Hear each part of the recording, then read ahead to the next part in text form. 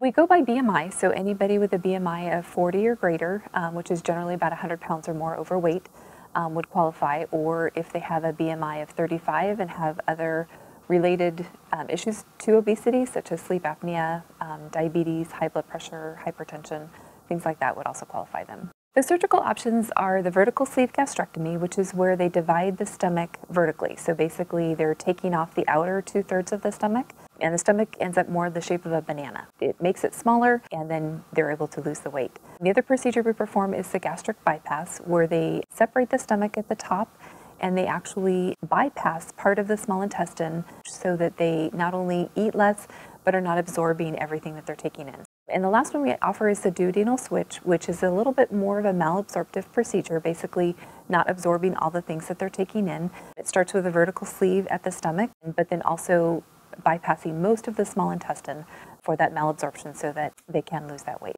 El Camino Hospital is an accredited center um, by the American Society of Metabolic and Bariatric Surgery. Um, so that means that we meet the highest standards um, for care of our patients. Um, we also have a dedicated bariatric unit with um, dedicated rooms, um, dedicated staff who have all been specially trained to take care of bariatric patients. We have um, ongoing support here at the hospital. Um, we preoperatively we meet with the patients before they come into the hospital to make sure that they understand everything that's going to be happening while they're here for surgery.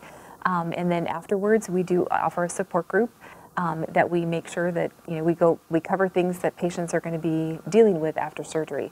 Um, and so we provide a lot of educational opportunities. Um, surgeons will come in and talk um, as well as special guest speakers. So that, that way they can feel supported.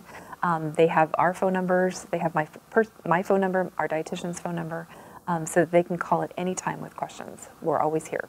Most insurance companies do offer the coverage. Um, everybody will be a little bit different. All of the, um, it's up to the individual plan.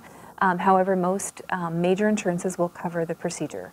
Um, they can, patients can call the hospital and we can go over the benefits with them, or they can look on the back of their cards and call the company themselves and, and see what their benefit is.